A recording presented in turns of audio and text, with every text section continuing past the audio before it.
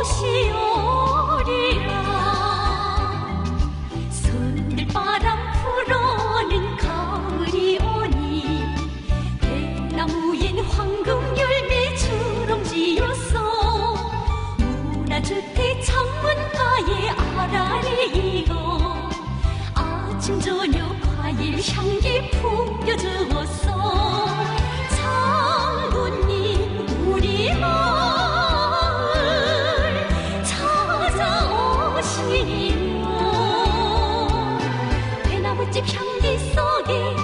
대나무집 향기 속에 모시오리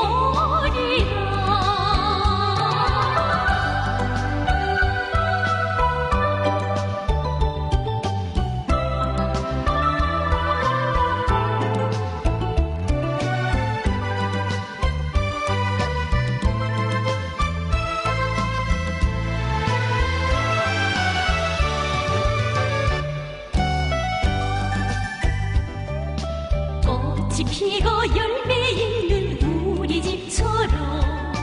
집집마다 과일나무 심어 가꿨어 온 마을이 배나무집 늘어만 가니 무릉도원 살기 좋아 정리된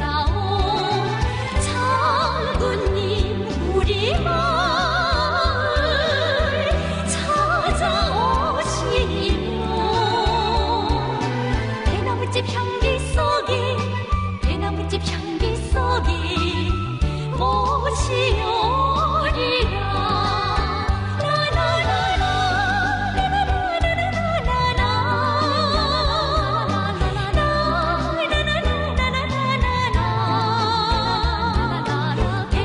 향기 속에